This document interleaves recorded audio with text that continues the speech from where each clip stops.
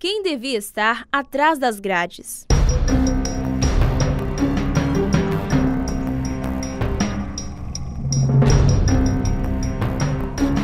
No bairro Triângulo, os papéis foram invertidos. Enquanto os criminosos estão soltos, os moradores ficam presos, mesmo à luz do dia. Aqui não tinha grade, né? Só era o meu portão. Mas aí, aqui mesmo em casa, quatro horas da tarde, já veio uns rapazes, assim, umas pessoas dali de trás, né? Que ali para trás tem. Uns guri terrível. Eles estavam levando meus galões d'água, tudo. E aí, o, aí teve que colocar essa grade. Agora é assim, dia, direto, direto, direto. De noite com grade eu não abro não, de jeito nenhum. O medo é tanto que as pessoas preferem ficar trancadas em casa. Aqui atrás funcionava uma antiga escola. Agora, com as portas fechadas, tem sido lugar de suspeitos. Aqui, a lei do silêncio não é uma opção.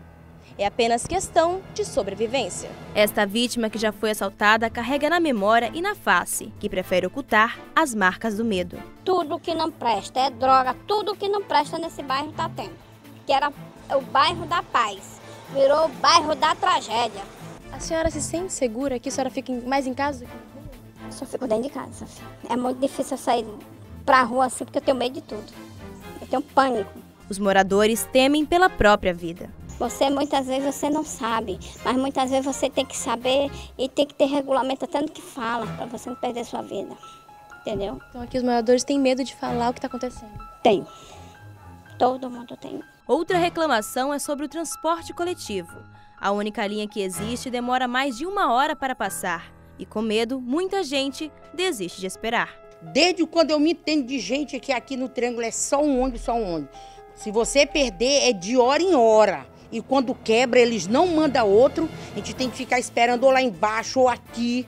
É desse jeito. Eu fui pro posto um dia desse, lá no posto, lá no, no cemitério, tem um posto que consulta a gente aqui. O ônibus quebrou, era às 8 horas, ele voltou lá, era uma hora da tarde, a gente lá esperando, até uma hora. O apelo é por socorro.